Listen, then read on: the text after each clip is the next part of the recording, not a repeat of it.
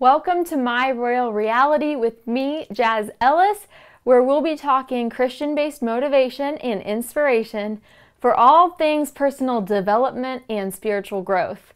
We'll cover topics including Christian development, how to know your purpose, dreaming big, scripture, discipleship, Bible based encouragement, Christian relationships, and your identity in Jesus. And always remember, as a daughter of God, through Jesus Christ, your reality is that you are royalty. So let's get going. Today's concept is that girls compete with each other, but women empower one another. We kind of talked about this in a prior podcast or video, but we're going to kind of unpack this some more in a little bit different angle. So, are you doing what you're doing because God told you to do it or because you're trying to keep up with the girl next to you? So, we're talking about competition, we're talking about being intentional and empowerment today. And I wanted to ask you that question because you do a lot of things in your life. You're a very busy gal. and why are you doing all the things that you're doing? Are you doing them to please other people? Or are you doing things to compete with other people? Or are you doing those things because God has told you to do those things? If you think you are in competition with the girl next to you, you will never cheer her on. And that's so sad and that's heartbreaking. If you think that she has to fall in order for you to rise, that's an issue. I think of James 3:16 that says, "For where you have envy and selfish ambition, there you find disorder and every evil practice." So if you've got that selfish ambition that you want to start the thing that she started because you want to be able to be that same caliber or just as relevant as she is, it's like, man, if we birth that project or dream out of jealousy or trying to compete with her, that is an awful foundation to build that project on, you know? Because that scripture that I just read promised you that if you have envy, you will also have disorder and every evil practice. It's like an open door for the enemy to start operating in your life or in your career or in whatever it is you started. I love 1 Thessalonians 5:11. It says, "Therefore encourage one another and build each other up just as in fact you are doing. We rise by lifting others. And I have that little saying back there as well, if you're watching this by video. It says, We rise by lifting others. And I love that. Like, the person next to you doesn't need to fall or fail in order for you to thrive and succeed and rise up. We rise by lifting other people. I think of a candle. A lit candle does not go out just because it lights another candle. Clearly, you know that, but think about the profound wisdom behind that. If you view yourself as a candle, a lit candle doesn't go out just because it lights another candle. Your light, friend, is not going to go out just because you build her up. Your light is not going to go out just because you encourage her to follow her dream. You are filled with the Spirit of God, and the light of Jesus burns brightly in you if you are a born again believer in Jesus Christ.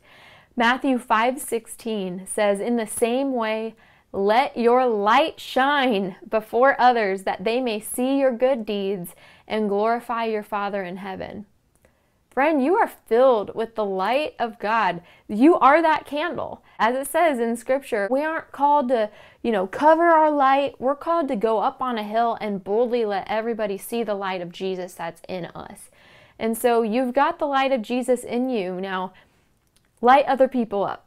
You've got that flame coming from you as a candle that's lit by Jesus. Now, light other people's wicks like let them start burning with the love and the light of Jesus as well. 1 Thessalonians 5 14 through 15 says, And we urge you, brothers and sisters, warn those who are idle and disruptive, encourage the disheartened, help the weak, and be patient with everyone. Make sure that nobody pays back wrong for wrong, but always strive to do what is good for each other and for everyone else. Luke 6:31 says, "Do to others as you would have them do to you."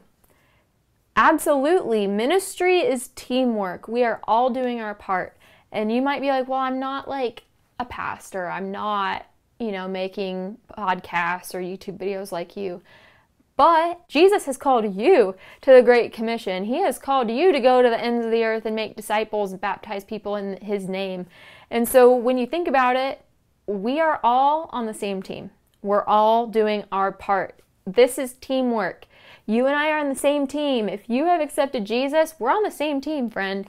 And so when you realize that all of us as Christians collectively are on the same team, you will start cheerleading on your sisters in Christ. If you see that girl who's doing what you want to be doing, whether it's starting a podcast or writing a book or starting a nonprofit or whatever she's doing that you're like, I want to do that. Like, I feel like God has called me to do that. Then cheer her on and do yours as well. Just because there's already a book written doesn't mean that you can't write your book. Just because she's making videos doesn't mean that you can't make videos. Like, we're all called to do our part. We're all on the same team, and we are needing to realize that all of this videos, the podcasts, the books, whatever all of this isn't for self promotion, but for Jesus promotion. So we're all on the same team. We're all trying to accomplish the same task. As you are looking at other people and what they're doing, are you being a girl and competing with them? Or are you being a woman and you're empowering them? So Galatians 6 7 says, Be not deceived. God is not mocked. For whatever a man sows, that shall he also reap. So I encourage you promote that lady's book, promote her business. Tell her she looks beautiful. Tell her she's inspiring. Like her post. like, I'm talking about, you know, that girl that just popped up in your mind that you're jealous of her, that you wish you had the life she had, that you wish you had the ministry she had, or the career she had, or whatever. Stop competing with her and start empowering her. Because you're sowing and you will reap that. And so that's what I like to do. It's like if I want to write a book someday, I'm going to start promoting the books that my friends write and then I will believe that what I sow, I'll also reap. And when I have a book come out someday, then I will have a whole army of friends, you know, that will be willing to promote me because I promoted them. Tell a friend that she looks beautiful. Tell her that she's inspiring. All of these things. It doesn't diminish your light, it doesn't take away from your light.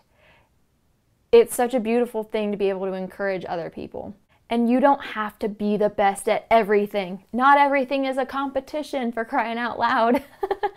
uh, Romans 12 6 says, In His grace, God has given us different gifts for doing certain things well. So there are ladies I know who are world class chefs and amazing moms and gardeners, and they love to sew and they love to clean.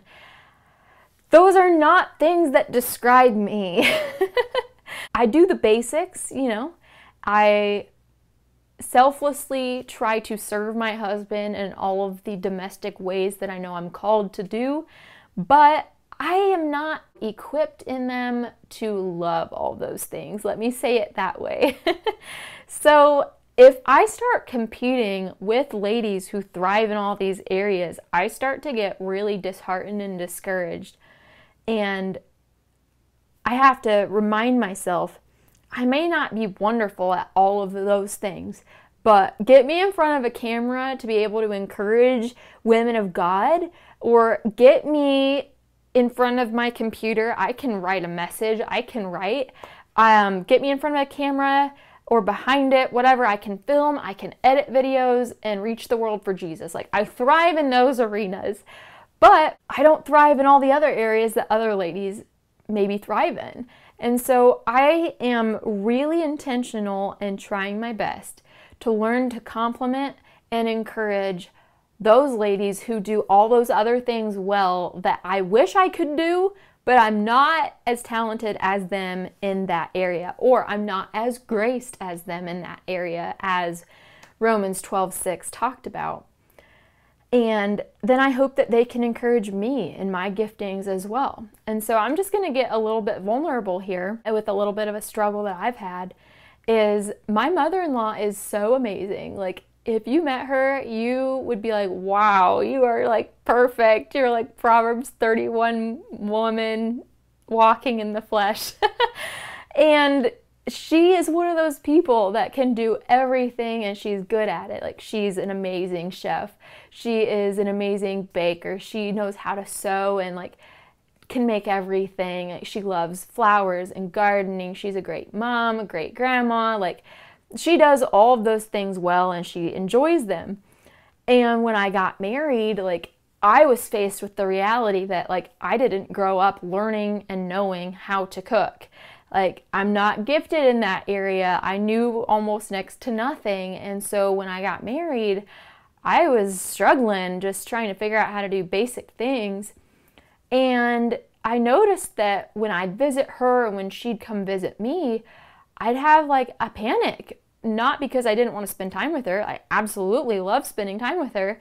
It's just almost like I felt uh, discouraged. Like less than being in her presence because of all the areas that I want to be good at, but like I I'm not and I have other areas that I want to focus on. Like I love doing videos like this and pouring into ladies and writing messages, editing videos. All of that takes so much time, you have no idea.